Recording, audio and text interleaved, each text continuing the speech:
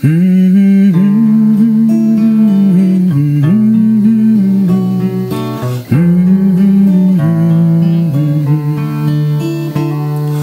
kom til Espevaren da han var bare tre.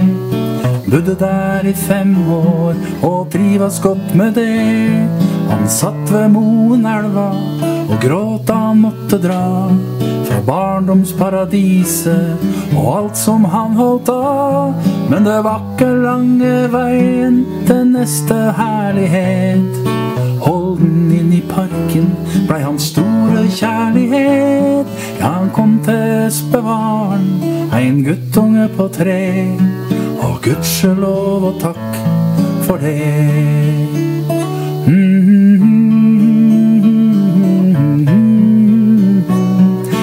Gudskjelov og takk for det. Han bleike gamle karen, bare 25 år. Men rakk å skape mesterverk som aldri forgår. Utøvende urskog og foss i nedre Telemark.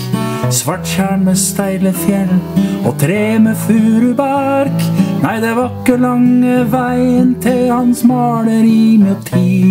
Han fant dem her på Ulefoss og ga dem evig liv. Nei, han blei ikke gamle karen, bare 25 år. Men maleria hans består.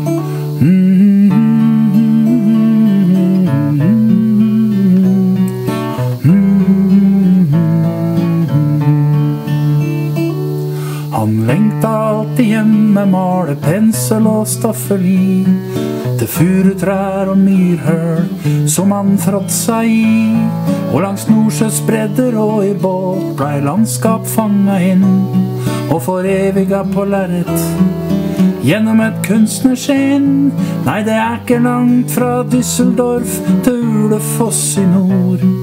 Kjærlighet gjør veien kort, sjøl om avstanden er stor.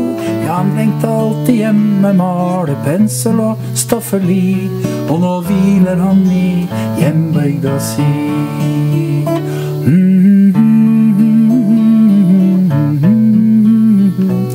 Ja, nå hviler han i hjembygda si.